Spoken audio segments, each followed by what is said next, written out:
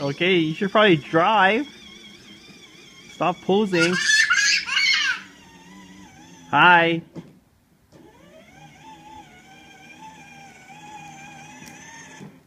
Raiden.